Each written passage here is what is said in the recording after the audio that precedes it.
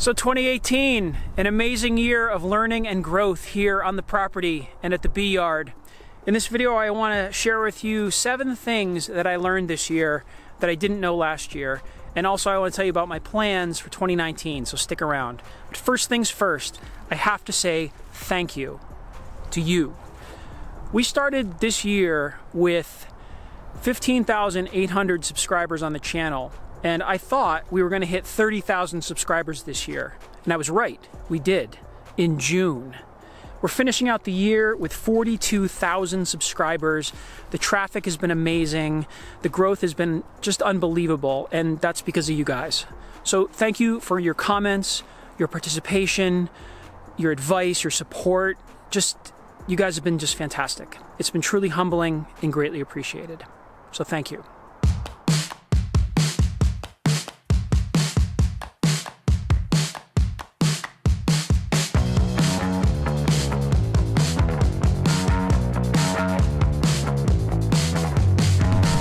So looking back a year ago in the middle of last winter, I knew there's a lot of things coming up that I was going to have to do this year that I had never done before, things that were making me nervous. And I figured out how to do them, and now they all just kind of seem like second nature. So here's seven things I learned this year that I didn't know last year. So the number one thing I learned this year was splits. I tried three different ways of splitting the hive. The first way was splitting into a nuke and let the bees self make a queen, which was successful. I also split into a nuke and installed the queen. That was also successful.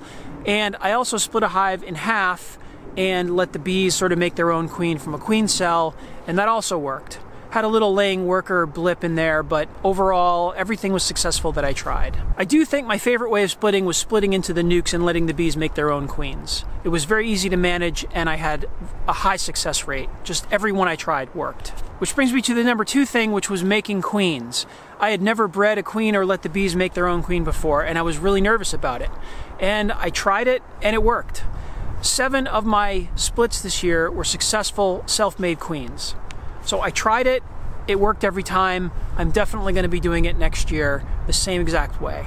So the third thing I tackled this year was learning about swarming and preventing swarming. It was something that I'd been nervous about for years and I'd never even gotten close to needing to worry about it, but this year I definitely did. We had a lot of growth in the springtime and especially Balboa was tending to show signs of swarming. And every time there was the sign of swarming, I dealt with it.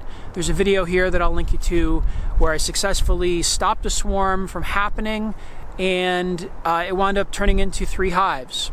I did have one swarm this year in September, but that hive also successfully made a queen from the swarm cell and everything wound up being just fine. But uh, I hadn't been in that hive for a while and I just missed the signs. But now I know what to look for and I, I'm not so scared of it anymore. The number four thing is I overcame my fear of feeding my bees.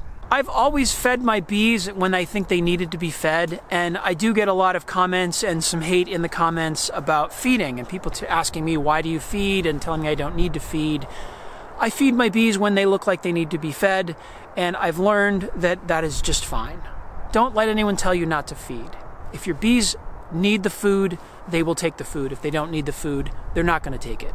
So feed your bees if you think they need it. Number five, marking queens. I had never marked a queen before. I've watched the videos, I've seen the pros pick the queens right up and mark the queens. That seemed a little scary to me. I got a product linked below, and I got my marking pens also linked below, and it was easy. It's no big deal. I marked my queens and everything was fine. It's super easy, nothing to be afraid of. I will link the video about the marking queens right up here. So number six, extracting honey. We had extracted our honey in the past by just squeezing it through bags. This year I knew we were gonna need to get an extractor. It was pretty intimidating, but I did a lot of reading, a lot of research, and I walked into the Maxant factory and they were extremely helpful. Uh, Maxant is in our state, it's right down the road from us. I walked in, Jake was very helpful, walked me through all the options. I'm psyched that I got what I got, and thank you for the help. And uh, yeah, it wasn't scary at all. So now we have an extractor, and we're hoping next year to need it uh, and use it. And finally, thing number seven is overwintering. The first year of beekeeping, I read a lot, I watched a lot of videos, and I deduced my own sort of system out of tar paper, Vivaldi boards, foam shells, all, kinds of things. and I got a hive to survive the winter. Balboa survived the winter.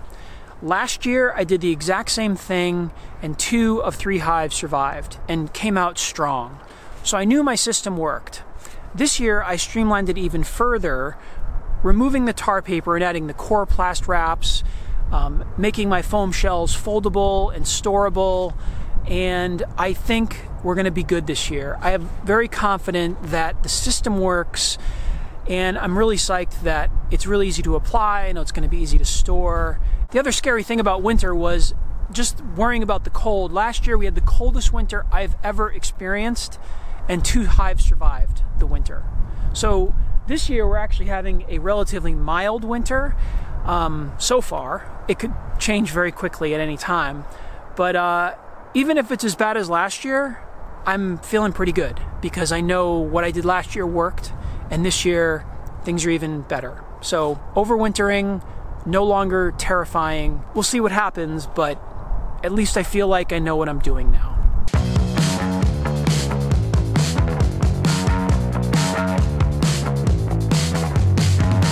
2018 was all about expansion. I learned how to make bees. I learned how to make queens. I learned how to build colonies. But it wasn't without problems. Mainly, we have a dearth problem here on the property. Despite having an entire field of buckwheat and all kinds of flowers planted, the bees were in a dearth and they were not bringing in nectar for two whole months in the middle of the summer. So there's no point in having 10 colonies or 12 colonies or 20 colonies if your property can't support the bees. So my main focus in 2019 is going to be dealing with that. And I'm going to do that two ways. We have this giant four acre blank canvas right here. The goal this year is to plant this field with as many nectar producing flowers as I can to help support these bees up here. Now I know flowering trees would be the best thing, but I can't plant just plant trees this year and have that help the bees next summer. So I'm going to be focusing on flowers, field crops, things like that that I can plant right now that will support the bees. I am going to be planting in the long term and thinking about trees that will be good for bees, but right now I got to plant this field. So that is the top priority for 2019 is figuring out what will grow in this field that will help the bees and get that in the ground as early as possible. The second thing is I need to find a balance between a number of hives and what this property can support. Now, I know that not all 12 colonies that I have are going to survive. We're going to come out of the winter with maybe six, maybe eight, who knows how many hives. Some are going to die. The ones that make it, I want to try immediately to build up as fast as possible to catch that spring flow and then not focus on expanding the bee yard, but focus on building those hives to be as strong as possible to take advantage of the flowers that we do have. So that is the second goal of 2019 is to just go for quality over quantity. Go for strength over just expanding to 20 hives. Make the hives that survive here thrive here. So I'm going to start right early in the springtime with the survivor hives, just building them up and building them up as much as I can giving them all the resources they can to grow so that when that spring flow hits, they can take advantage of it. Then continue to build them over the summer so that they, they take advantage to our huge fall flow, which I know will come. And that leads me into the third goal of this year, which is to try and use my resource hives as actual resource hives. This year I used my resource hives, the sort of double nuke boxes that I had, as my splits and I grew my bees into those splits and then I graduated them into larger hives. So I use them more as like incubators to just grow the hives into full-size hives. But next year I want to use them as actual resource hives. And the way to do that is to split the hives into those resource hives, grow them into the hives, and then just let them continually produce brood for the big hives, the production hives. Use those smaller hives to pump up the strong hives and let them just live as small nukes indefinitely. So how it's going to look next year is I'm going to see what survives the winter. Whatever survives the winter will be my production hives for the year. It might be six hives, it might be seven hives, who knows. But I'm going to leave those hives as full size, do some splits off of them early on, and then use those splits as resources for the big hives to bump them up to build monster hives. So I'm going to have fewer full-size hives, but have a lot of nukes.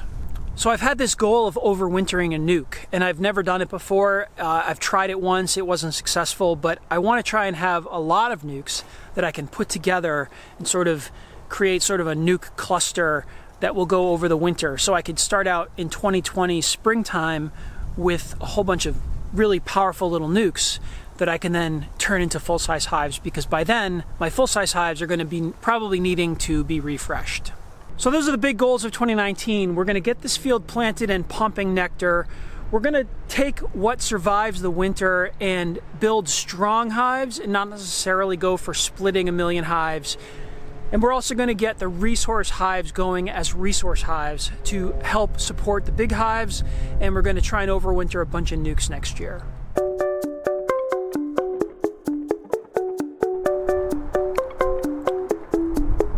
So once again, I just have to say thank you. I am truly humbled at the attention you've given to this channel and the support you've given to me over the last three years.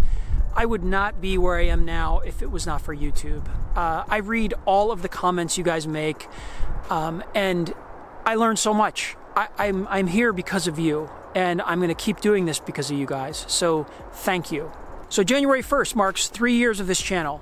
I, I started it as a resolution, January 2016, and I didn't know what to expect. I didn't know where it was going to go, but here we are. And I am not stopping, and you will see more videos from me coming up. I got stuff from 2018 that I haven't edited yet that's still going to pop up here in the next few weeks. And if I'm not posting here, I'm posting on Instagram. So check me out over there, Vino Farm, Instagram. And uh, yeah, that's about it. So you guys are awesome. And I wish you the best in 2019, and I will see you around. Thanks again.